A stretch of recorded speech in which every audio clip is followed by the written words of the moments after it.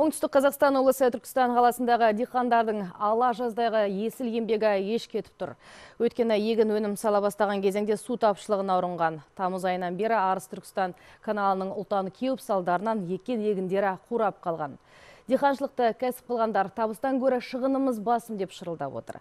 Тақырыпты күнгелік шаруалармен жүздесіп, егін алқаптарын аралап қайтқан тілшіміз сабақтайды. Жүгерісі соғық байлап мақтасы көсектеп тұрған шақта судан тапшылық көрген шаруа шарасыз халде отыр. Өйткені мыңдаған гектар егістік алқабын ағын сумен қамтамасыз етіп отырған арыс түркістан каналының тамыз айынан бері ұлтаны кеуіп қалған. Осылайша ала жазғы еңбегі еш кетіп еңсесі түскен диқанның жайы жыларман халде. Міне міне жүгерінің берген өнімі мынау. Дән дән общий байламағанда ол су байламайды міне жүгерілер міне уже қурап міне еш неге кәдеге де жарамайды да бұл бұл шөпке де болмайды силосқа да болмайды уже қурап кетті. Іріленген береке шаруа қожалығы су тапшылығынан 500 гектар жердің жартысын ғана игерген. Оның өзі қуаңшылыққа тап болған.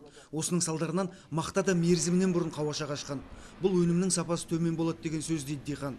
Мынада бес центнер мақта аламаймын мен гектарына бұның орта есеппен неғанда сексен мың жұмсадым. Осыған бетіне қарап отырмыз. Енді істеп жатқан жаңағы қырық жеті адамға бәрін беті қайтып қалды құрысын екпейміз дейді. Қара жерімізден доход ала алмағаннан кейін біз несіне ол жеріміз бар суымыз бар дейміз.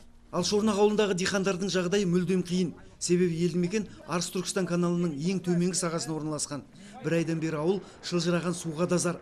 Диқаншылықпен күнелтіп отырған жергілікті халықтың кейбірі өз күшімен құдық қазып алыпты. Оның өзі қуаң тартқан жерге жұғын болмай отыр дейді шаруалар. Қол құдығымен әйтеуір екі рет суарып алдым мақтанды қауындарымыз анау мынау еккендер домаланып домаланып аппақ болып ұрып е су ішіп еді қалды бәрі кәсіпкерлік палатасының өкілдері келтірген мәліметке сенсек тап қазір аудандағы жеті мың гектар жерге егілген өнім сусап тұр соңғы үш төрт жылда өңірде ағын су мәселесі тіптен қиындап кеткен. Осы сегіз мың шаруа шаруа қожалықтарының қазір жартысынан сәл ақ көбі егін егуде қалғандары жерлерін тастап кетіп жатыр осы судың. Ал ұңғыма қазып беріп жатыр әкімшілік тарапынан. Ол ұңғымалар жердің бетіндегі шөпті жойып жатыр. Сусыз аудандарға малды көбейтуге мал бордақылауды өсіруге арнайы бағдарлама керек. Суға жауапты мекемедегілердің айтуынша бұл жылда қайталанатын жағдай. Сыйымдылығы 370 миллион текше метр. Бөген су қоймасынан жиналған қор жаз айының соңында азайып кетеді. Оған қоса түркістаннан бөлек тағы екі ауданның шаруалары осы қоймадан су алады сондай ақ жалпы ұзындығы 150 шақырым келетін канал екі мекемеге қарайды дейді тораптағылар. Былтырға қарағанда биыл 40 миллион суды аз бердік. Былтыр 203 миллион су берсек биыл 161 миллион су бердік. Ар жағы судың қоймадағы тапшылығынан таусылды. Биыл да күзгі суда өзі бір уайымдап отқан жағдайымыз бар.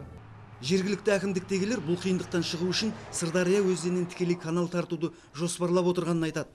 Оның жалпы ұзындығы 41 шақырым болмақ.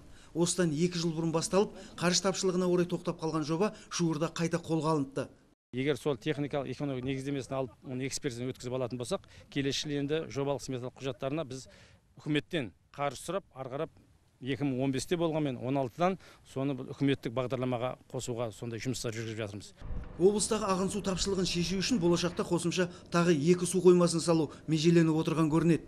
Дегенмен барын балаларының аузынан жырып қарызға белшеден батқан түркістандық диқандарға әзірге ағын судың ауылы алыстау болып тұр. Қанат жүнісбеков ерболат әбіш оңтүстік қазақстан облысынан.